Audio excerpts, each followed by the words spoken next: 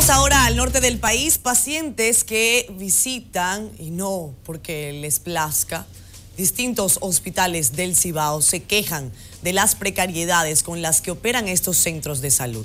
Exigen incluso que sean declarados en emergencia. Iliana Rosario a continuación con más detalles. Iliana, adelante. Muchísimas gracias y muy buenas noches. Y asimismo son muy graves las denuncias que realizan familiares de pacientes, eh, sobre todo en el caso del hospital de Moca, en donde dicen incluso que hay momentos en los que han acostado dos pacientes en una misma cama por la falta de insumos e incluso de medicamentos para atenderlos. Es por tal situación que los movimientos populares han anunciado una vigilia para el martes 28 de junio, declarando en estado de emergencia el Hospital Toribio en Cosme y pidiendo la rápida intervención del Ministerio de Salud y del Gobierno Central. Moca está contaminada por el Zika en más de un 85% y las autoridades competentes ni por cortesía fumilgan. Entonces es una parte de la demanda. También vamos a demandar en un documento que el hospital lo, lo, declaren en estado de emergencia. La situación está muy caótica en el hospital, no hay cama, las enfermeras están uno mal, no hay aire. No hay medicina, no hay jeringuilla, no hay de nada, no hay donde acostar la gente, no hay de nada. El, el hospital de Boca se está yendo a pedazos. Nosotros le, pedamos, le, eh, le pedimos a las autoridades que hagan algo por Moca, que aquí se está destruyendo todo.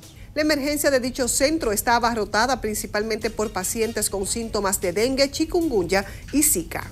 Bueno, y en otra información, tratándose también de temas de salud, una denuncia bastante delicada es la que se realiza en el Hospital José María Cabral Ibáez, en donde un hombre fue dejado abandonado por su familia y lleva más de dos meses, según las denuncias, padeciendo de varias enfermedades en la entrada del Departamento de Cólera del Centro de Salud. Algunas personas que visitan a diario el hospital regional calificaron de inhumano el hecho de que el señor esté afuera del departamento durmiendo encima de cartones. Inhumano eso, ve a una persona ahí delante de un, de un hospital y que lo tengan abandonado así. Tiene dos meses. Sí, que hagan algo, porque la gente aquí no tiene corazón. Es un humano, no es un perro. Cuidado, doña, cuidado. Que el gobierno haga algo por eso, porque eso no se puede, eso está muy mal. Pidieron a las autoridades atender a esta persona que aparentemente fue dejada abandonada por sus familiares y que padece varias complicaciones de salud.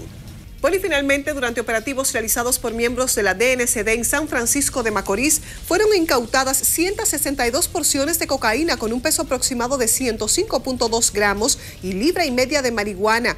Durante el operativo fue apresado Humberto José Wales Gómez, apresado en la calle A próximo a la banca PH del sector Rivera del Jaya.